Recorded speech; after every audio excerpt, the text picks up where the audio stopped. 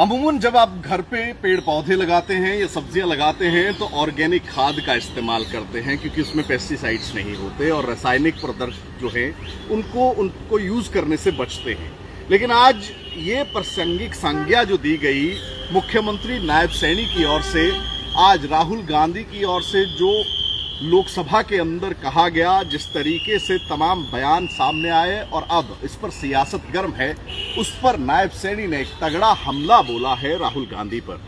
नायब सैनी का ये कहना है कि राहुल गांधी वो रासायनिक प्रोडक्ट हैं जिनका, जिनको बनाने में या जिनको उगाने में जो है रासायनिक पदार्थों का यानी कि पेस्टिसाइड्स का इस्तेमाल होता है और लगातार बार बार कांग्रेस पार्टी उसी ही प्रोडक्ट को पेश करती है। लोग उसे नकार देते हैं क्योंकि लोगों को ऑर्गेनिक प्रोडक्ट्स पसंद हैं। अब ऐसे में नायब सैनी की ओर से, यानी कि सीएम की ओर से ये बात इसलिए कही गई कि लोकसभा के अंदर हिंदुओं को लेकर, दिए गए बयान को लेकर, राहुल गांधी को लेकर जो है, वो भारतीय जनता पार्टी पूरी तरह से मोर्चा खोले हुई है। आज नायब सैनी की ओर से एक पत्रकार वार्ता की गई, मुख्यमंत्री की ओर से पत्रकार वार्ता कर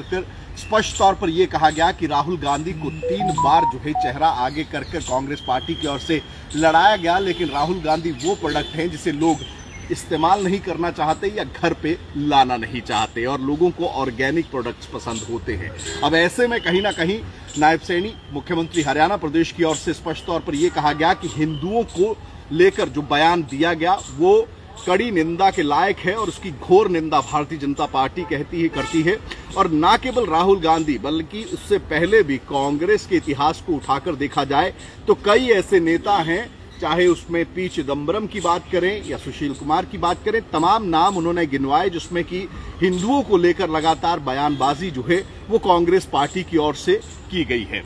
मुख्यमंत्री का यह कहना था कि ये मानसिकता दर्शाता है कांग्रेस पार्टी की, जो कि सिख दंगों पर कुछ नहीं कहती। जो पश्चिम बंगाल में हुई घटनाओं पर एक शब्द नहीं बोलती, उन्नीस सौ चौरासी के घटनाक्रम पर कुछ नहीं कहती। ऐसे में राहुल गांधी अगर कहना चाहते हैं, बात करना चाहते हैं तो इन मुद्दों पर भी राहुल गांधी को बात जो है वो करनी चाहिए। अब दरअसल लोकसभा के अंदर जिस तरीके से राहुल गांधी की ओर से ये कहा गया कि हिंदू जो है, जहाँ पर हिंदू आते हैं, वहाँ पर हिंसा और नफरत और ये तमाम चीज़ें जो शब्दों का इस्तेमाल किया गया, उसको लगातार बार बार अपनी पत्रकार वार्ता में सीएम नायब सैनी की ओर से जो है वो कोट करने का काम किया गया। उनका ये कहना था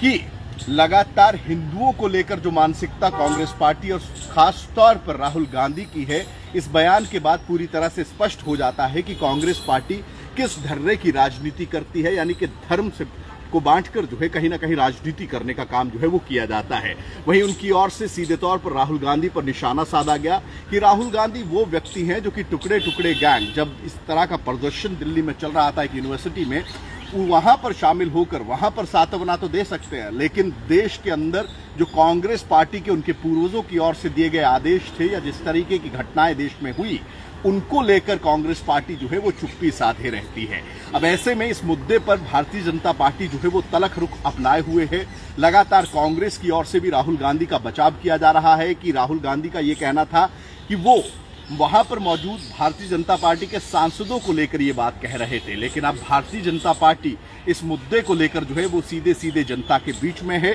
आज मुख्यमंत्री नायब सैनी की ओर से पत्रकार वार्ता कर स्पष्ट तौर पर यह कह दिया गया कि जब लोगों की ओर से बार बार रिजेक्ट कर दिया जाता है जब लोगों की ओर से रासायनिक प्रोडक्ट को बार बार रिजेक्ट करने का काम किया जाता है, तब वो फ्रस्ट्रेशन जो है इस तरह के शब्दों में निकलती है और कांग्रेस पार्टी के बड़े थिंक टैंक्स जो हैं, जो बड़े नेता हैं, उनको राहुल गांधी को शिक्षा देनी चाहिए, शिष्टाचार सिखाना चाहिए और उनको उनका व्यवहार जो है बताना चाहिए, क्योंकि पहले वो सिर्फ़ एक नेता के तौर पर कांग्रेस में बयान दिया करते थे जब उन्हें भारतीय जनता पार्टी सीरियसली नहीं लेती थी, लेकिन अब राहुल गांधी जो है, वो लोकसभा के अंदर नेता विपक्ष, नेता प्रतिपक्ष का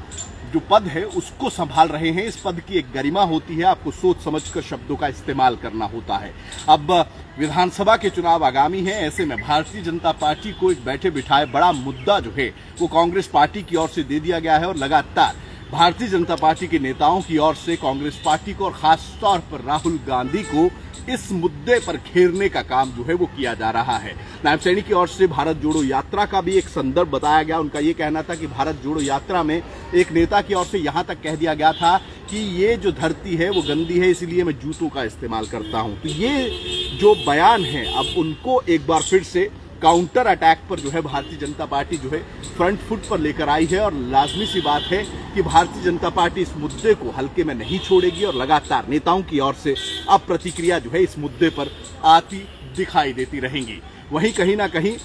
जिस तरीके से राहुल गांधी के काउंटर में कांग्रेस पार्टी लगातार जो है, वो भारतीय जनता पार्टी को घेरने का काम कर रही है तो वहीं भारतीय जनता पार्टी की ओर से भी एक काउंटर स्ट्रैटेजी जो है, इस मुद्दे को लेकर जो है, पूरी तरह से बना ली गई है। और राहुल गांधी को इस पूरे मुद्दे पर अब आने वाले दिनों में भारतीय जनता पार्टी घेरती नज़र आएगी। रासायनिक प्रोडक्टों और ऑर्गेनिक प्रोडक्टों पर दिए गए इन बयानों पर आपकी कमेंट्स में राय क्या है, कमेंट्स में ज़रूर बताइएगा और साथ ही साथ इंडिया न्यूज़ के डिजिटल प्लेटफॉर्म्स को लाइक व सब्सक्राइब ज़रूर करिए। राम राम।